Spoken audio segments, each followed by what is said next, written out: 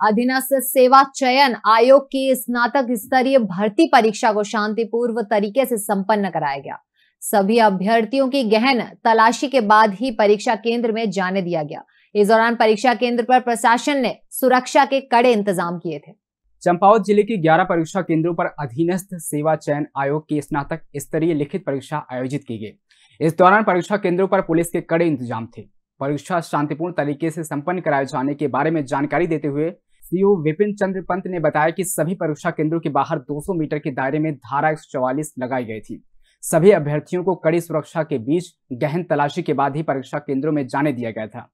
इस दौरान मोबाइल व इलेक्ट्रॉनिक डिवाइस प्रतिबंधित रहे। इसके अलावा नगर के सभी फ़ोटो स्टेट की दुकानों को बंद रखा गया था, जिससे परीक्षा शांतिपूर्ण तरीके से संपन्न हुई। पूरे में है ग्यारह सेंटर है।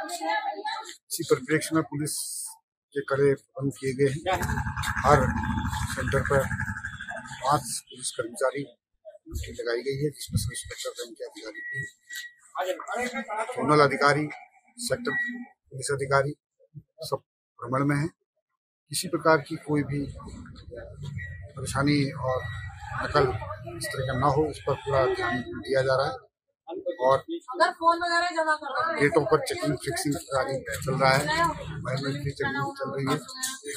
और 200 मीटर के दायरे में धारा एक सौ चौवालीस लगी है जिसमें किसी प्रकार का भी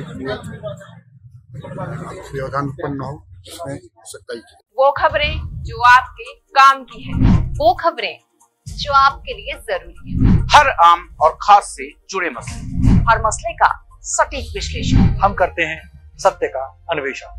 दखल न्यूज़। आपके हक में। आप देख रहे हैं दखल न्यूज़।